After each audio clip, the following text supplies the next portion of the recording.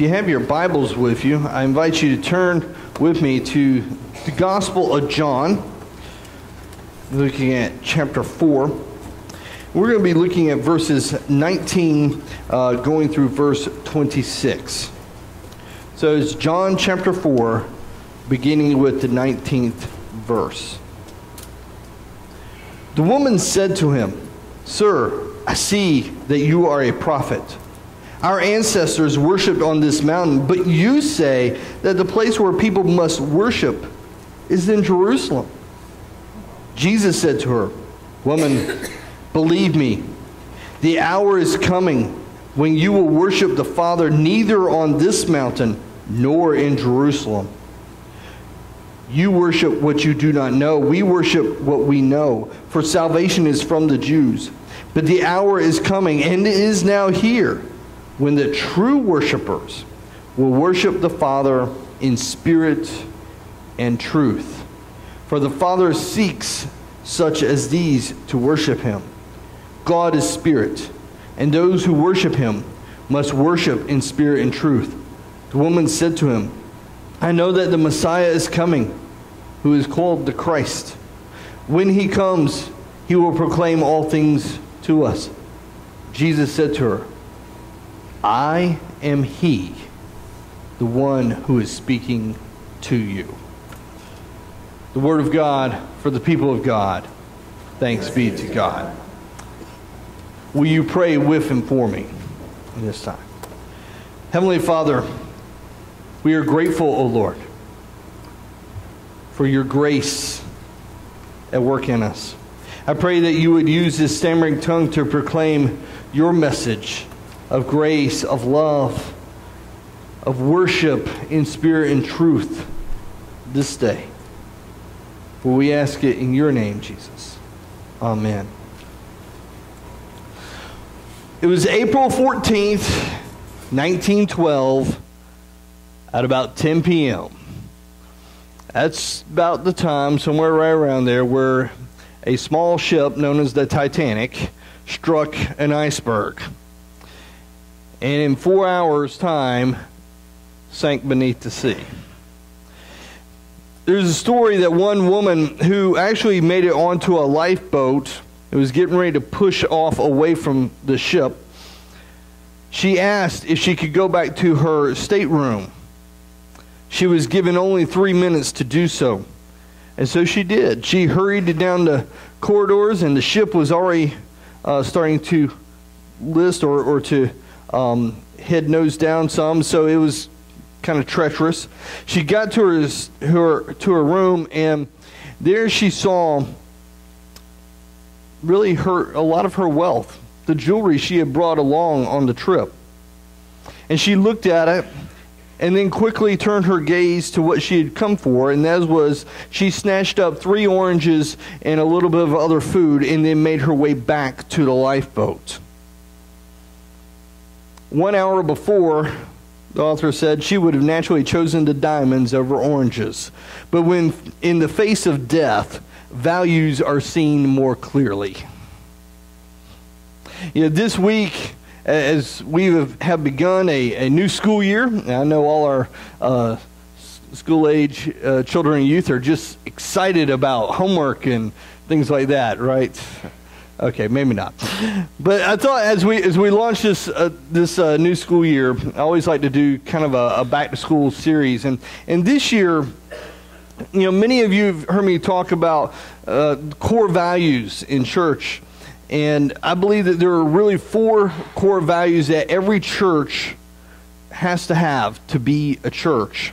Um, for full disclosures, these are not all original to me. Okay. Um, but after 20 plus years of being a pastor, after talking with people in the church, both clergy but and laity, I keep coming back to these four things. And uh, and if you forget them, uh, don't worry. Caroline Buckley was kind enough to put them on the bulletin board right outside the parlor, so you can look there for a refresher.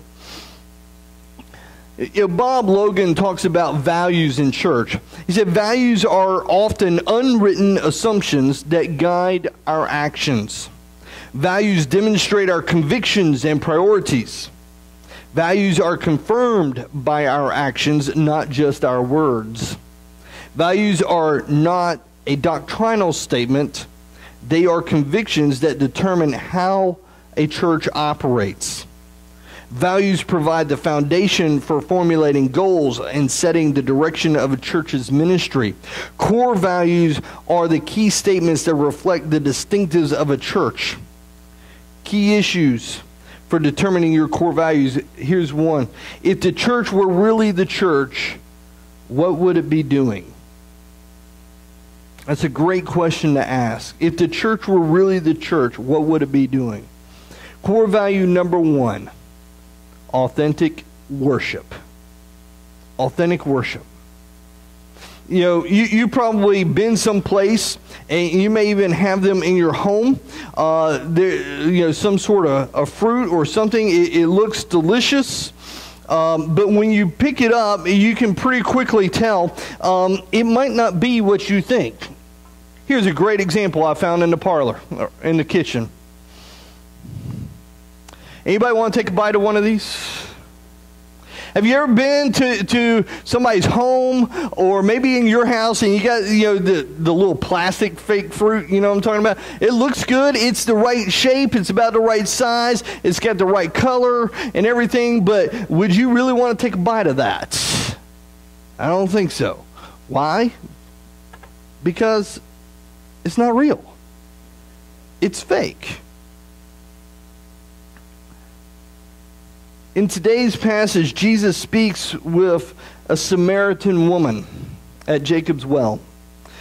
Uh, in the series The Chosen, and I know uh, one of our Sunday school classes is working through The Chosen, there is a great segment about this conversation. If I had screens in here, I would show it because it, it was depicted so well. Um, but in this conversation, the Samaritan woman says to Jesus, Sir, I see that you are a prophet. Our ancestors worshipped on this mountain, but you say that the place where, we, where people must worship is Jerusalem. Again, Jesus and the Samaritan woman, they're, they're standing at Jacob's well. It's on Mount Gerizim. And off in the distance, on the same hillside, you can see the ruins of the Samaritan temple site that had been built there right around the time of the exile. That would have been between 600 to 500 BC. It was destroyed by the Israelites themselves during the Maccabean time period. That's the time period between the Old and New Testaments. It was right around 110 BC. The Maccabeans, who were Israelites, destroyed this temple. Jews and Samaritans worship the same God, yet the Jews destroyed the Samaritan temple because they said, no, you got to worship in Jerusalem. There was real tension between Jewish people and the Samaritans. They hated one another, they fought each other a lot. And the Samaritan's woman's comments are really sarcastic in many ways. Yeah, you think you're better than us because your people destroyed our temple. And Jesus' response is essentially to say, look, worship is not about location. Here in John's gospel, Jesus is making it known early on that the temple in Jerusalem, its time is coming when it will cease to exist. And God's people, this is you and I, and all who call upon the name of Jesus, we will worship the Lord differently. It won't be in a temple, it, but we will worship in spirit and truth. Authentic worship is not about some specific location. Yes, we gather in a sanctuary. That is true. I've had authentic worship on a basketball court, in a gymnasium. I've experienced authentic worship at a football stadium when Billy Graham gave uh, one, one of his, his sermons. You can have authentic worship in a lot of places as long as it's always directed to God. We worship in spirit and in truth. Warren Wiersbe, in his book, The Integrity Crisis, tells this. He says, True biblical worship so satisfies our total personality that we don't have, have to shop around for man made substitutes. He said, William Temple made this clear in his masterful definition of worship. William Temple says this For worship is the submission of all our nature to God, it is the quickening of conscience by His holiness, the nourishment of the mind with His truth, the purifying of imagination by His beauty, the opening of the heart to His love, the surrender of will to His purpose. When we think of authentic worship in those terms, we see that real worship is not about building, it's not about location, it's not about style, whether you're using an, an organ or whether you're using guitars and drums. It's not about hymns or praise and worship songs. It's not about traditional versus contemporary. It's not about the lighting in the sanctuary. It's not about whether we use screens or use a hymnal. Actually, I've known many churches who use both. It's about connecting with Jesus and submitting to Him. There's a, a man, he's, he's in charge of Seedbed, which is a publishing company that was founded by uh, Asbury Seminary, where Lori and I went. His name's J.D. Walt. And I love his statement about worship. He says, You know, we could do everything right. You know, that basically all the music could be played perfectly. We could all sing in perfect harmony. The, the, the sermon would be perfect in, in its eloquence and in the words that are used. But if people do not connect with Jesus, we fail. The reverse is also true. You know, we, we could have the choir sing one song and have the congregation sing a completely different song to a completely different tune. That might not sound good. I could literally fall off here. Hope I don't. Come close a few times. Yeah, everything could like go wrong, but if people experience Jesus, we succeed. It's about experiencing God. If we just gather here and run through the motions, we miss it. If we come to this place because it's the cultural thing to do, we miss it. If we sing the hymns, pray the Lord's Prayer, listen intently to the Holy Scriptures read aloud and proclaimed, and yet never allow God the Holy Spirit to move in our souls, we miss it. I think about the words of Pastor Chuck Swindoll in one of his sermons, he said, What then is the essence of worship?